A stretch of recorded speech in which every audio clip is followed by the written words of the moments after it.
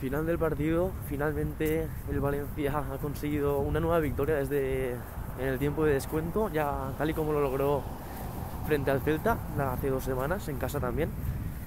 Y supone un mazazo importante sobre la mesa porque se sitúa a 8 puntos ya de la zona de descenso y también puede ser un, una, un punto de inflexión para el ánimo, ya que estas dos últimas victorias, que ya lleva tres seguidas en casa, se ha conseguido de esta manera y frente a un todo a un todo Villarreal que se ha mostrado también muy firme.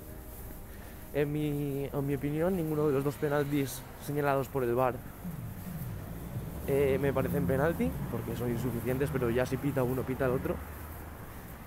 Y bueno, quinta derrota del, del Villarreal en la temporada. anteriormente lo había hecho frente al Sevilla, al Betis, el Barcelona y, y el Levante y los tres puntos se quedan, se quedan en casa.